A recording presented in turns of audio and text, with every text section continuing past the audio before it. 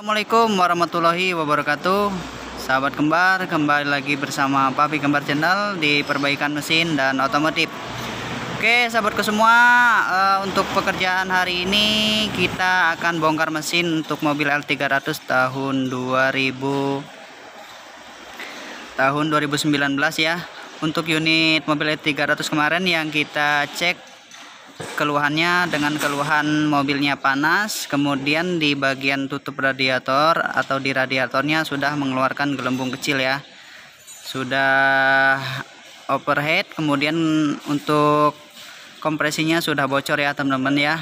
Oke teman-teman sebelum lanjut ke videonya jangan lupa tekan tombol subscribe dan like. Mudah-mudahan ilmu dan info yang papi kembar bagian ini bermanfaat buat teman-teman semua. Oke teman-teman kita cek untuk unitnya.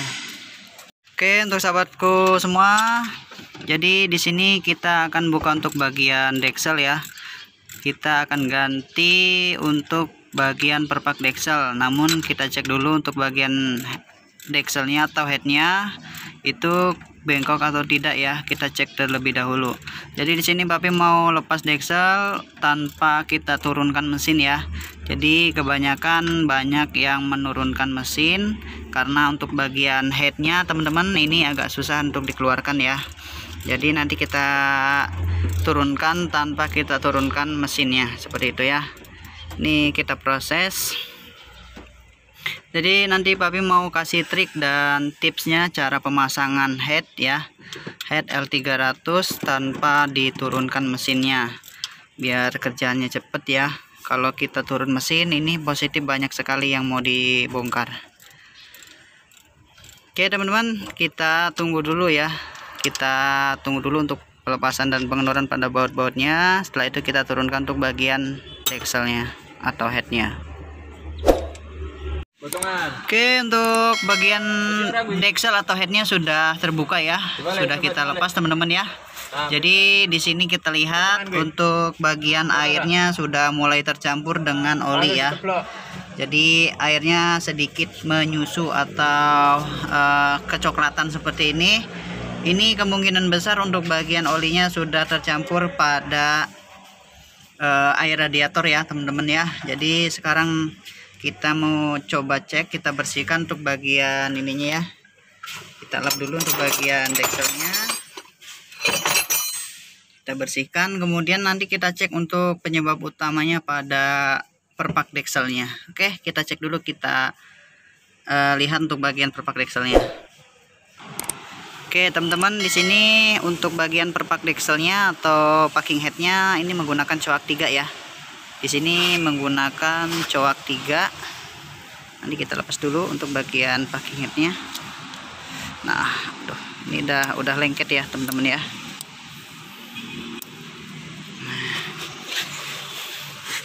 Jadi untuk bagiannya kita lihat di sini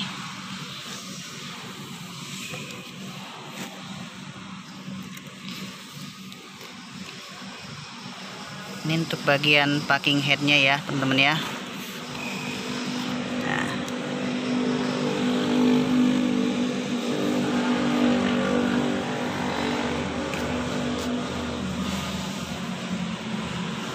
Oke teman-teman uh, setelah ini kita bersihkan ya untuk bagian perpak-perpaknya. Nanti kita ukur untuk kebengkokan pada headnya atau dexelnya Oke teman-teman semangat terus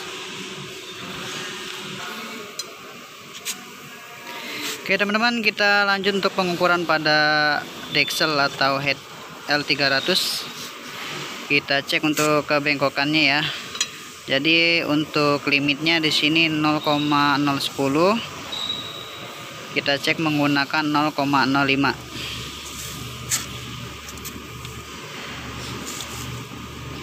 masuk seret ya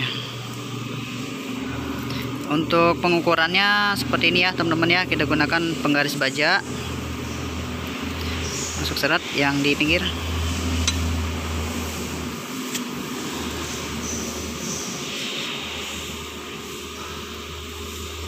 Masuk ya. Oke. Sebelah sini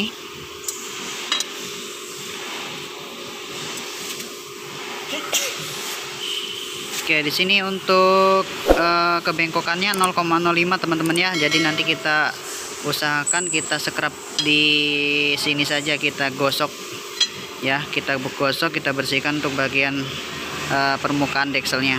Karena ini masih termasuk apa? limit ya, belum ter eh, termasuk standar ya. Untuk standarnya ini tidak ada kebengkokan atau nol.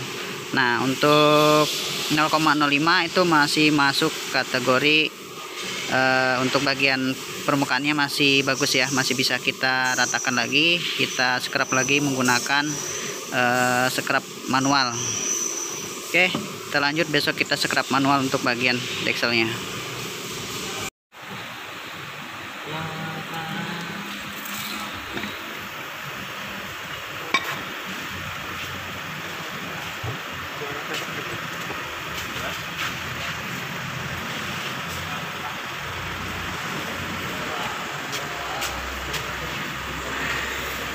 teman-teman untuk bagian bloknya sudah kita scrub ya. Jadi kita ukur lagi untuk kerataannya. Alhamdulillah untuk 0,05 nya ini Alhamdulillah hilang ya.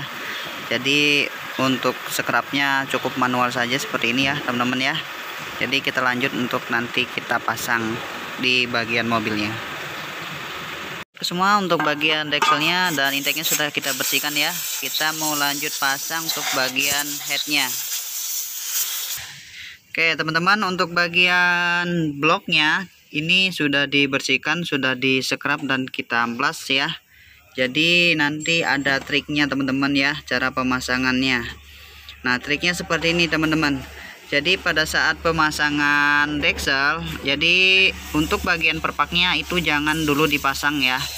Jadi kita masangnya setelah dekselnya dimasukkan ke dalam karena apa? Karena untuk bagian ujung perpaknya biasanya dia terkena deksel sehingga untuk perpaknya bisa lecet dan rusak. Nah nanti untuk perpaknya terakhir masangnya ya teman-teman ya. Jadi setelah dekselnya masuk baru kita selipkan untuk bagian perpak dekselnya seperti itu. Oke teman-teman kita lanjut. Nanti kita pasang untuk bagian headnya atau dekselnya teman-teman untuk dekselnya sudah kita masukkan ya. Jadi untuk bagian perpaknya belum tak pasang. Uh, kita analisa. Coba dik angkat dik. Nanti kita pasang dengan cara mengangkat seperti ini ya. Baru kita masukkan untuk bagian perpak dekselnya. Oke kita lanjut pasang perpak dekselnya. Oke seperti ini ya teman-teman ya. Baru kita pasang untuk bagian headnya. Kita lanjut pasang teman-teman Nah, kita paskan untuk bagian lubang pin ya, belakang dulu kayaknya. Kurang maju, uh, kurang maju. Bisa dilihat nggak uh, lubangnya di bagian atas ini dilihat pakai ini. Pasin lubang pinnya. Oke, teman-teman untuk bagian pinnya sudah masuk ya. Tadi ada sedikit terkendala nih nyangkut di sini ya, teman-teman ya jadi ini kita kendorkan tadi e, sempat dibuka. Nah sekarang kita e, kita nokan dulu untuk bagian pinnya ya. Kita kencangkan dulu satu atau dua baut di bagian ujung sana kemudian di ujung sini. Oke teman-teman nanti kita lanjut untuk cara pengencangannya ya. Mudah-mudahan info dan ilmu yang papi kembar bagikan ini bermanfaat buat teman-teman semua. Amin. Oke kita lanjut nanti kita pemasangan penorokan pada baut headball L300 nya sahabatku semua uh, kita lanjut ya untuk lakukan penorokan di sini papi lakukan untuk dua tahap ya. Untuk pengencangan aslinya itu 10,5 sampai 11,5 saat mesin dingin ya. Jadi sekarang uh, mesinnya dingin kita lakukan untuk uh, torok yang 11,5 namun papi bulatan menjadi 12 kilo. Nah dua tahapan ini maksudnya kita kencangkan dulu untuk 5 kilo. Kalau 5 kilo ataupun bisa 8 kilo ya. Setelah itu kita torok 12 kilo Oke, taruh dulu kita taruh 6 kilo ini. Untuk pengencangan dimulai dari yang paling tengah ya, teman-teman ya. Jadi untuk toroknya kita lakukan dari yang tengah bisa berurutan dari silang maupun uh, sistemnya obat nyamuk ya atau muter ini untuk tahapan awal ya teman-teman ya jadi untuk torok pertama kita gunakan 6 kilo bisa 8 kilo. Setelah itu finishing 12 kilo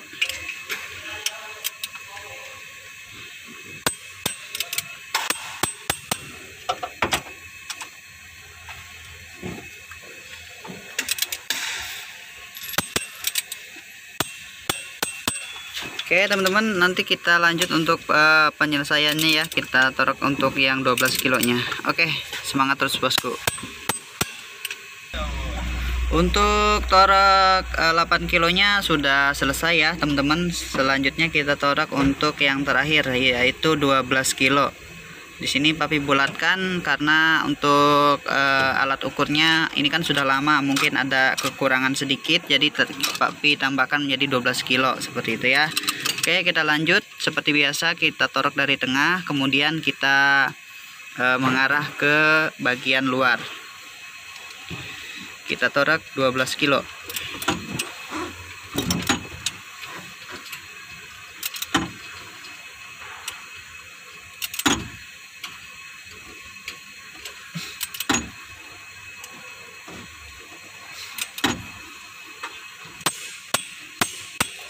Oke untuk torknya lumayan berat ya teman-teman ya.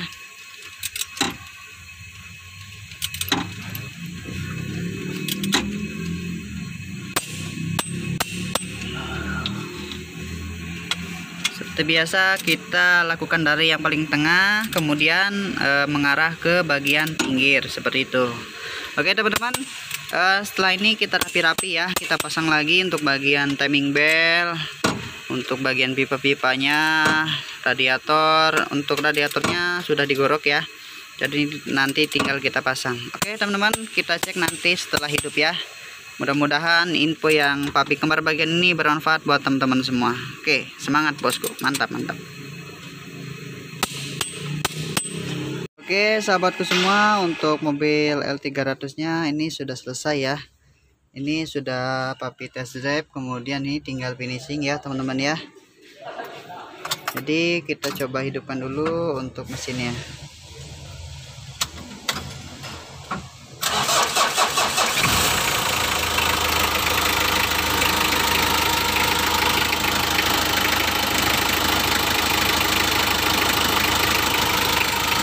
Untuk mesinnya masih lumayan halus teman-teman ya mobilnya baru kilometernya baru 37.000 ini sudah bongkar deksel ya. Ini penyebabnya hal sepele teman-teman ya. Oke teman-teman seperti itu ya triknya. Cara pemasangan deksel atau head tanpa merusak perpak dekselnya.